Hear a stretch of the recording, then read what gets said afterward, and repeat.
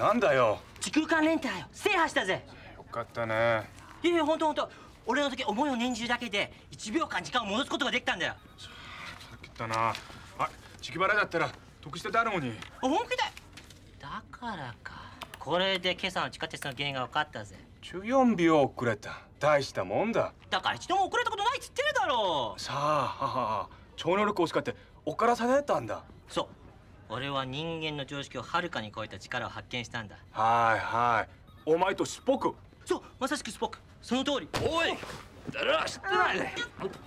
おいスポック。テスクリップを使えテスクリップ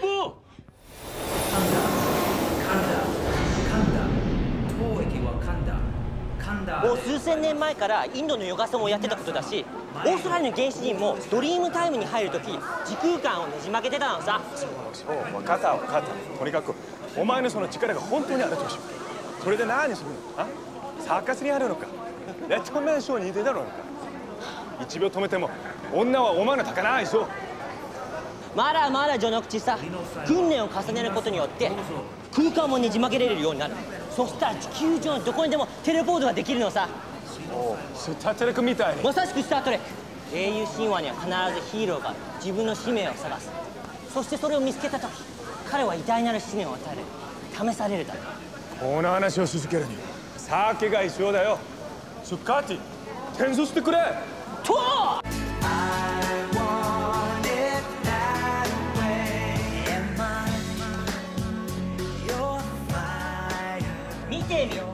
大半の一般人は時間が直線的に進むものまで。しかし実際はこんな感じなのさどこで覚えたの？X メンの143号。キティプライドが過去に戻った時。漫画？ガキが小さい頃超能力を密かに欲しくないっていうやつはいないだろそのうち俺。この俺がなぜ持ってんだよ。クラスでは劣等生スポーツではビリもう俺は大人間じゃない。お前の力が役に立つこと。考えられないかよこれも OK とかさ。ああスーパーヒーローは自分のためには力を使わない。じゃあなんならいいんだ。調子通りにテレポートするってのは。お前の目的はわからないだろうけど人生について学べるかもよ。分かったよ。どうしてもって言うんだったら女子トイレにテレポートしてやろうじゃないか。よしじゃあなるよ。ビールは後に合い持ってくるよ。驚くなよ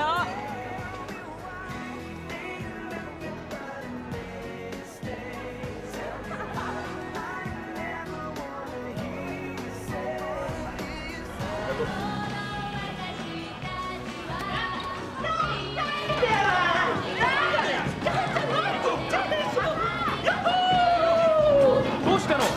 いおい見たかできたぞ俺は女子トイレの中に行ったんだ。すごい。お前は変態だ。俺はテレポートしたんだ。やめてくれ。時空間の破るなんて不可能だ。じゃあ信じなくていいよヒロこの町の人口は1250万人だけど誰も時空間なんて負けられないぞ。お前は異常じゃないか？違う。質問はなぜみんなと同じになりたいのさ？俺はそうだからだ。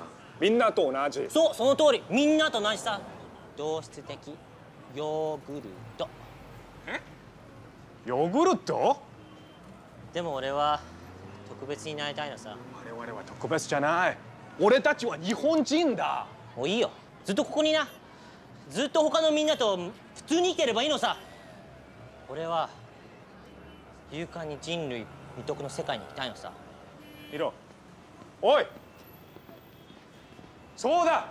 お前は特別だよ。お前はスーパーヒーローだ。